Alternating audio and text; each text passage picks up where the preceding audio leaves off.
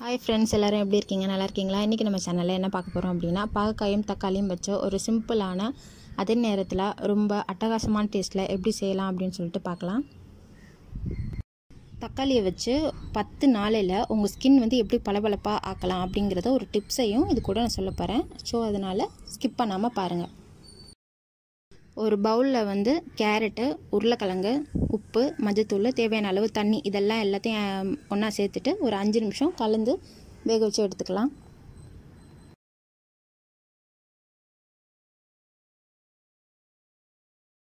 அடுத்ததாக நம்ம பாகக்காயை வந்து நடுவில் கொஞ்சம் லைட்டாக இந்த மாதிரி கட் பண்ணிவிட்டு அந்த நடுவில் உள்ள வந்து சதை பகுதியை வந்து ஒரு உங்கள் கிட்டே வந்து ஸ்பூன் இருக்கும்ல அதோட அடிப்பகத்தை வச்சு நல்லா இப்படி வந்து ஸ்க்ரோல் பண்ணிக்கிட்டே வந்தீங்க அப்படின்னா உள்ளே உள்ள பகுதியெல்லாம் வந்து வெளியில் வந்துடும்.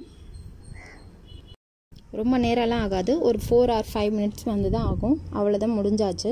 இந்த மாதிரி எல்லாத்தையும் எல்லா பாக்கையும் நான் வந்து ஒரு இருபது பாக்கை எடுத்திருக்கேன். அந்த மாதிரி எல்லாத்தையும் வந்து நான் அந்த மாதிரி செஞ்சு வச்சிட போகிறேன் இப்போது ஒரு பவுலில் நம்ம உள்ளே வந்து சதப்பகுதி எடுத்து வச்சுருக்க பாகக்காய் மஞ்சத்தூள் உப்பு தேவையான அளவு தண்ணி ஊற்றிட்டு இதையும் நம்ம வந்து வேக வச்சு எடுத்துக்க போகிறோம் ஒரு அஞ்சு நிமிஷம் வேக வச்சு எடுத்துக்கோங்க. இதற்கு தேவையான பேட்டர் வந்து இப்போ பார்க்கலாம் நான் வந்து நாலு ஸ்பூன் கடலை மாவு ரெண்டு ஸ்பூன் வந்து அரிசி மாவு ஃபுட் கலர் தேவையான அளவு சால்ட்டு சில்லி பவுடர் எல்லாம் ஆட் பண்ணிவிட்டு எல்லாம் கலந்து விட்டுக்கலாம். கலந்து விட்ட பிறகு நான் வந்து அரை லெமன் வந்து ஆட் பண்ணியிருக்கேன். ஆட் பண்ணிவிட்டு தேவையான அளவு வாட்டர் ஊற்றி வந்து இது வந்து கன்சிஸ்டன்சி வந்து பேட்டர் அளவுக்கு நம்ம பண்ணி வச்சுக்கலாம். அடுத்து வந்து நான் ஒரு டிப்ஸை ஒன்று சொல்ல போகிறேன் அப்படின்னு சொன்னல அது வந்து என்ன அப்படின்னு பார்த்தீங்கன்னா தக்காளியோட லைட்டாக வந்து கடலை மாவை வந்து கலந்துட்டு முகத்தில் ஃபேஸில் வந்து அப்வர்ட் டைரக்ஷன் வந்து அப்ளை பண்ணிட்டு வந்தீங்க அப்படின்னா உங்களுக்கு பத்து நாளில் வந்து ரொம்ப வந்து உங்கள் ஸ்கின் வந்து ரொம்ப க்ளோயிங்காக இருக்கும். ரொம்ப பளபளப்பாகவும் மிருதுவாகவும் இருக்கும்.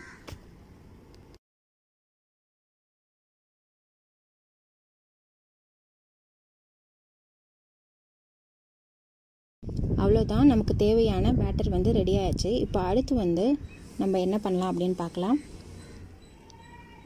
நமக்கு வந்து ரெட்டு அரிசி அவல் இருக்கும் இல்லைங்களா? அதை வந்து நான் வந்து சோக் பண்ணி வச்சுருக்கேன். ஒரு அஞ்சு நிமிஷம் சோக் பண்ணி வச்சுருக்கேன். அடுத்து வந்து ஒரு பேனில் ஆயில் வந்து ஹீட் பண்ணிவிட்டு சீரகம் வந்து நல்லா புரிஞ்சு வந்ததுக்கப்புறமா வந்து தேவையான அளவு வந்து நான் வந்து ஆனியன் ஆட் பண்ணிக்கிறேன். ஆனியன் ஆட் பண்ணிவிட்டு நல்லா கலந்து விட்டுக்கலாம். ரெண்டு பச்சை மிளகா வந்து கீரி ஆட் பண்ணியிருக்கேன். தேவையான அளவு கருவேப்பிலை தக்காளி ஆட் பண்ணிவிட்டு நல்லா கலந்து விட்டுறலாம்.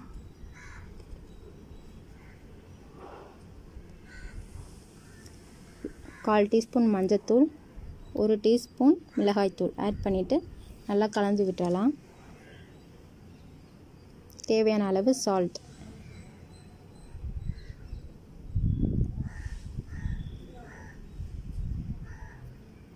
நம்ம மசிச்சு வச்சுருக்கிற கேரட் உருளைக்கிழங்கு வந்து இப்போ ஆட் பண்ணிக்கலாம்.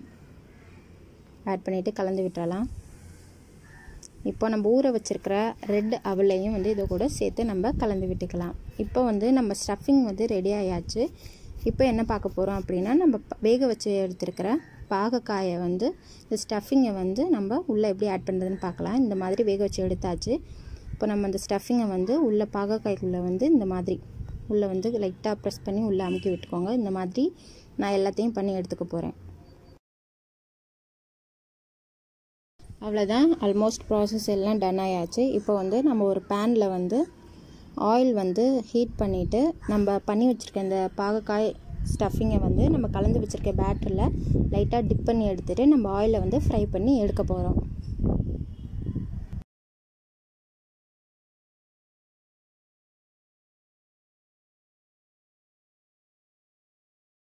மீதமுள்ள பாகக்காயும் வந்து இதே மாதிரி நம்ம ஃப்ரை பண்ணி எடுத்துக்கலாம். அவ்வளோதான் ஃப்ரை பண்ணி எடுத்தாச்சு. இப்போ நம்ம இதுக்கு வந்து தேவையான டொமேட்டோ சாஸ் எப்படி ரெடி பண்ணுறது அப்படின்னு பார்க்கலாம். சர்க்கரை ஃபோர் ஸ்பூன் ஆட் பண்ணியிருக்கேன். ஆட் பண்ணிவிட்டு ஒரு டூ ஸ்பூன் அளவுக்கு தண்ணி ஆட் பண்ணிவிட்டு நல்லா வந்து பொங்கி வரட்டும். பொங்கி வரும்போது நான் வந்து அரைச்சி வச்சுருக்கிற தக்காளி வந்து ஒரு ஒரு தக்காளி அரைச்சி வச்சுருக்கேன். அந்த ஒரு தக்காளியை வந்து இது கூட வந்து நான் ஆட் பண்ணிக்க போகிறேன் ஆட் பண்ணிவிட்டு நல்லா கலந்து விட்டாலாம். கலந்து விட்டுட்டு நான் வந்து குழந்தைங்க வந்து ரொம்ப விரும்பி சாப்பிடணும் அப்படின்னா லைட்டாக கொஞ்சம் ஃபுட் கலர் ஆட் பண்ணியிருக்கேன் ஆட் பண்ணிவிட்டு நல்லா கலந்து விட்டுறலாம். கால் ஸ்பூன் வந்து சுக்குத்தூள் வந்து ஆட் பண்ணியிருக்கேன் ஆட் பண்ணிவிட்டு லைட்டாக ஒரு பிஞ்ச் அளவுக்கு சால்ட் ஆட் பண்ணியிருக்கேன் அவ்வளோதான் ஆல்மோஸ்ட் வந்து நம்மளுக்கு டொமேட்டோ சாஸ் ரெடி ஆயாச்சு. இப்படி நீங்கள் செஞ்சு கொடுத்தீங்க அப்படின்னா சின்னவங்கள்லேருந்து பெரியவங்க வரைக்கும் யார் பாகக்காயெல்லாம் விரும்பி சாப்பிட மாட்டாங்களோ அவங்கெல்லாம் சாப்பிடுவாங்க. குழந்தைகளுக்கு வயிற்றில் உள்ள கீரை பூச்சிக்கு வந்து இந்த பாகக்காய் வந்து ரொம்ப யூஸ்ஃபுல்லான ஒரு மருந்தும் கூட.